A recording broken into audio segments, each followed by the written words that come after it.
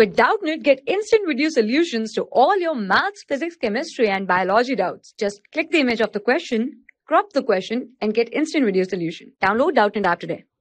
Hello guys, this is our today's question. The number of seats in a row is equal to the total number of rows in a hall.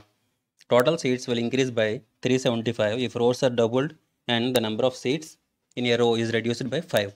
We have to find the number of rows in the hall. Let's get into the solution. Okay. Let's assume number of rows as x. Okay.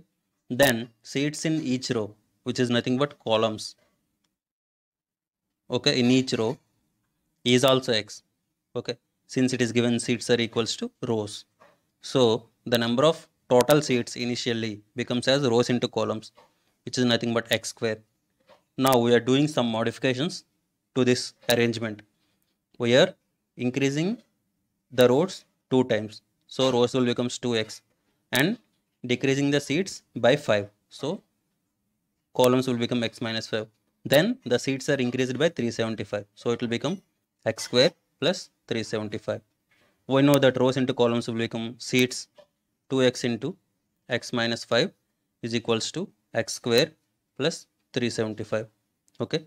Now we are going to solve this one to get the value of x.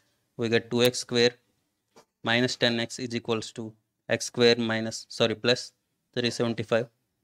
If we take x square and 375 into LHS we get x square minus 10x minus 375 is equals to 0. This is the quadratic equation.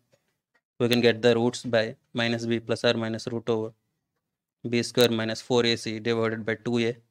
So minus will becomes plus 10 plus or minus root over b square is nothing but 10 square which is 100 minus 4 into 1 which is equals to 4 into c minus 375. So minus 4 into minus 375 will becomes 1500 plus 1500 divided by 2 into 1 okay so here we get plus 10 10 plus or minus root over 1600 divided by 2 which is equals to 10 plus or minus root over 1600 is nothing but 40 divided by 2 so we get if we take positive we get 10 plus 40 by 2 which is nothing but 25 and 10 minus 40 by 2 which is nothing but minus 15.